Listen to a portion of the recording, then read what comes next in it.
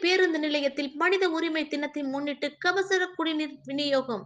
சிவகங்கை பேருந்து நிலையத்தில் தேசிய உரிமைகள் காலம் நுகர்வோர் அமைப்பின் சார்பில் மனித உரிமை தினத்தை முன்னிட்டு தமிழக அரசின் அறிவுறுத்தலின்படி டெங்கு விழிப்புணர்வு செய்யப்பட்டு கபசுர குடிநீர் வழங்கப்பட்டது. சிவகங்கை நகர்காவல் ஆய்வாளர் கோட்டைச்சாமி தலைமையில் தேசிய உரிமை கழகத்தின் நிறுவனர் டாக்டர் பி கே பொதுச் செயலாளர் பிரபாகரன் முன்னிலையில் நடைபெற்ற நிகழ்ச்சியில் பேருந்து நிலையத்தில் இருந்த பயணிகளுக்கு கபசுர குடிநீர் இலவசமாக வழங்கப்பட்டது.